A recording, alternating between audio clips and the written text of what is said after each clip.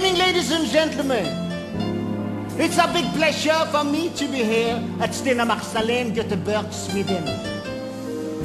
I would like to sing you a song that I once wrote for my wife Ulla. But here tonight, I'll dedicate it for all the beautiful women out there. It's a song called. She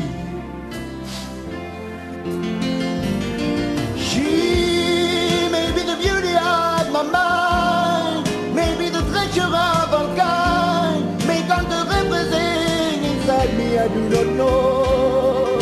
She may be the burden on my head, maybe the horse that's lying dead. I can't see anything in her all. I only know that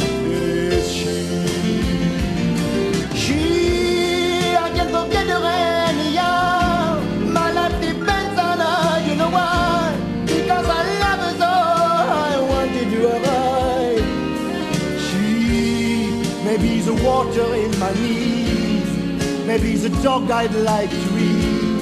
I can't see anything in her at all. I only know that it is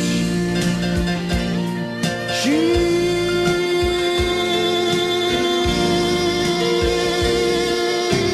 She.